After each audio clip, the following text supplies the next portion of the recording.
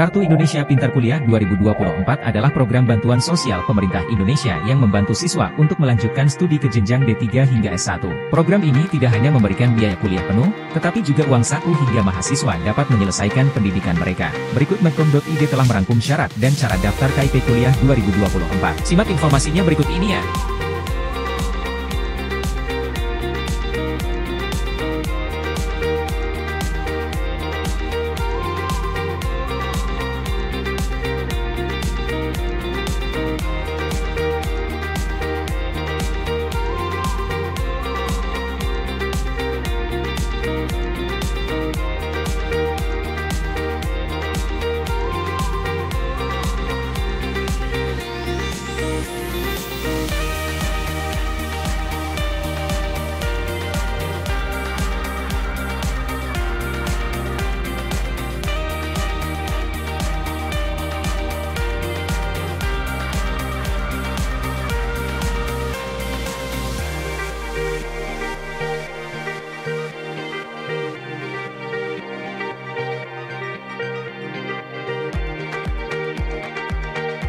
Jika ingin mendaftar, pastikan kamu memenuhi semua syarat dan mengikuti proses pendaftaran sesuai dengan jadwal yang ditentukan.